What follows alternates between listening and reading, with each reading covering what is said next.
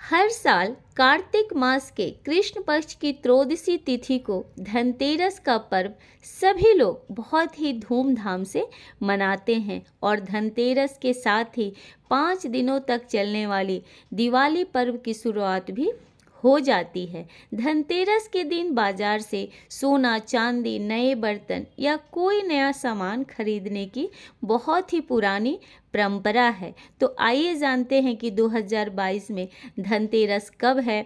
इस दिन खरीदारी का शुभ मुहूर्त कब से कब तक रहेगा?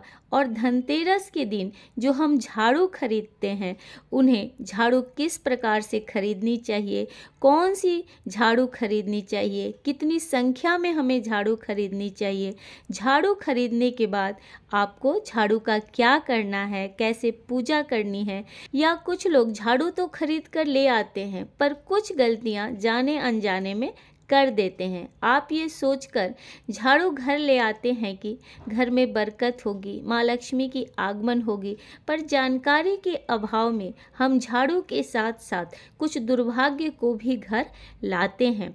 क्या है झाड़ू खरीदने का सही तरीका और इसके बाद आपको झाड़ू का क्या करना है? यह सभी बातें मैं आपको एक एक करके विस्तार से बताऊँगी तो आप हमारे साथ बने रहें। पर इससे पहले मैं मंजू कुमार, आप सभी को अपने यूट्यूब चैनल शिव परिवार पर दिल से स्वागत करती हूँ। कैसे हैं आप सब? तो ये बताने के लिए कमेंट बॉक्स में जय भोलेनाथ ज़रूर लिखिएगा। दोस्तों, साल 2022 में त्रयोदशी तिथि प्रारंभ होगी 22 अक्टूबर शनिवार शाम छः बजकर दो मिनट से, जिसकी समाप्ति होगी 23 अक्टूबर रविवार शाम छः बज के तीन मिनट पर।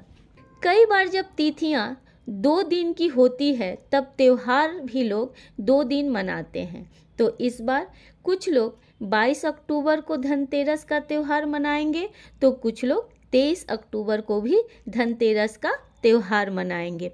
पर मान्यताओं के अनुसार हमें कोई भी त्यौहार उदया तिथि से मनाना चाहिए।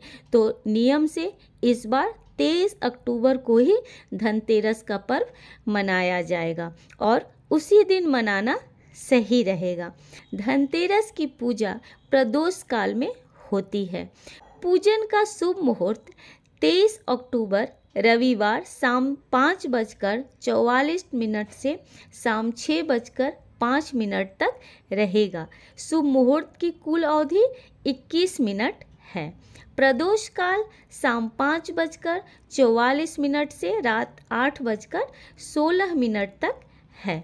वृषभ काल शाम छः बजकर अंठावन मिनट से रात आठ बजकर चौवन मिनट तक है। दोस्तों, मत्स्य पुराण में झाड़ू को माँ लक्ष्मी का प्रतीक माना गया है और बृहद संहिता में झाड़ू को सुख शांति बढ़ाने का और दरिद्रता हटाने वाली माना जाता है।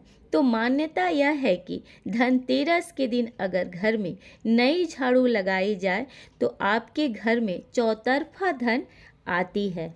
आपके धन में अपार वृद्धि होती है और आपके घर से अनावश्यक धन की खर्च भी कम हो जाती है।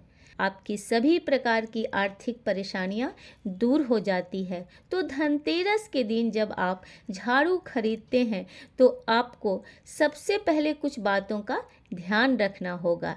जैसे कि धनतेरस के दिन लोग कई तरह के झाड़ू खरीद कर लाते हैं। मैं आपको बता दूँ कि आप सिर्फ़ सीको वाले झाड़ू ही खरीद कर लाइएगा जो नारियल के डाली से बनता है या फिर फूल झाड़ू भी खरीद कर ला सकते हैं। झाड़ू जितना घना होगा, उतना ही आपके घर में धन, सुख समृद्धि की वृद्धि होगी। भूल कर भी प्लास्टिक की झाड़ू नहीं खरीदिएगा धनतेरस के दिन। अगर आप प्लास्टिक का झाड़ू खरीद कर घर लाते हैं धनतेरस के दिन तो झाड़ू के साथ साथ आप अपने घरों में बहुत सारी परेशानियाँ को ले आते हैं।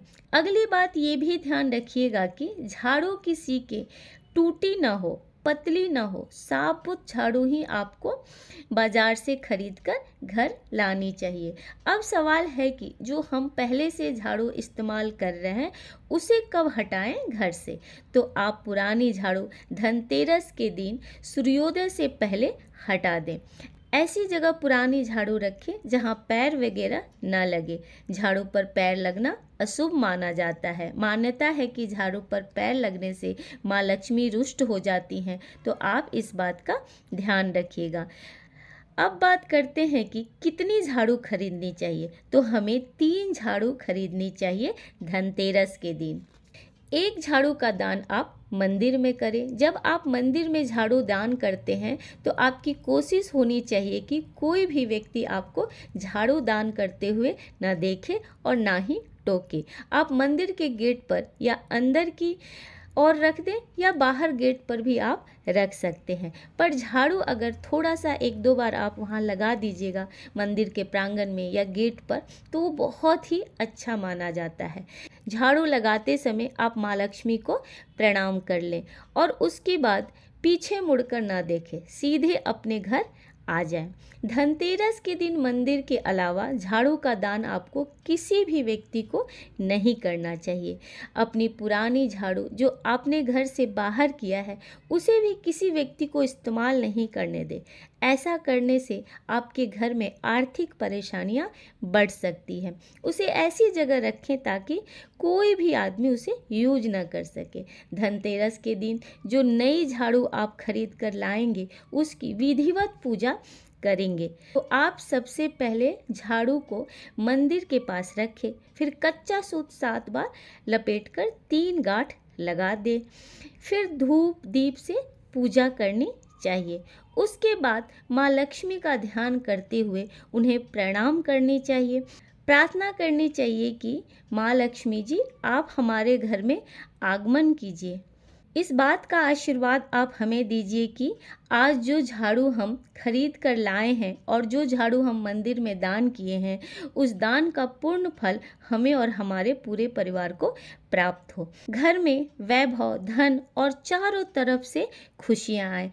किसी की भी बुरी नज़र हमारे घर परिवार में न लगे। हमारे परिवार को हर सदस्य के रोजी रोटी में बरकत हो।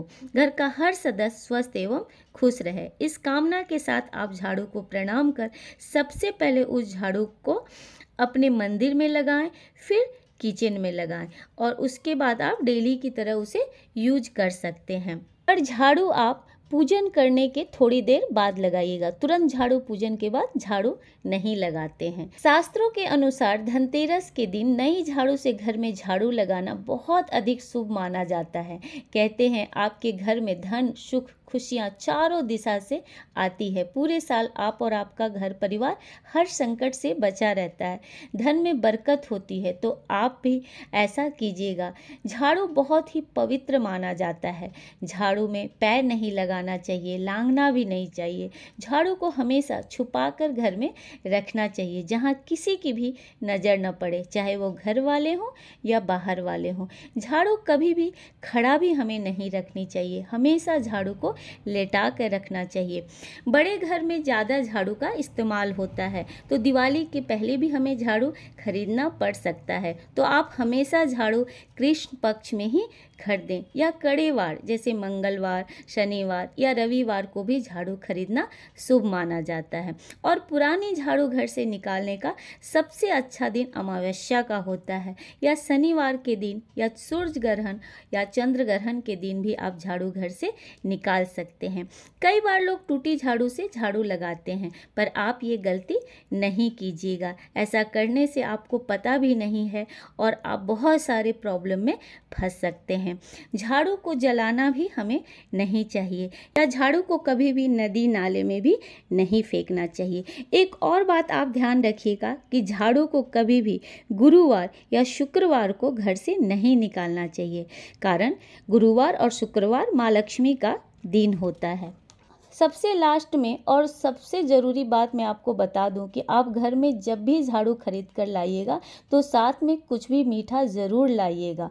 कुछ नहीं तो मिश्री, चीनी, बतासा भी आप ला सकते हैं। उसका भोग माँ लक्ष्मी को चढ़ाइएगा। धनतेरस का दिन हो तो माँ लक्ष्मी के साथ कुबेर देव और धनवंती भगवान को भी चढ़ाइएगा और इसे प्रार्थना कीजिएगा कि मेरे घर में सुख शांति बने रहे, बरकत हो, शुभ शक्तियों का वास हो। उसके बाद आप प्रसाद अपने पूरे घर में बांट दीजिएगा। वीडियो अच्छी लगी होगी तो वीडियो को लाइक करके चैनल को सब्सक्राइब करना नहीं भूलिएगा। धन्यवाद।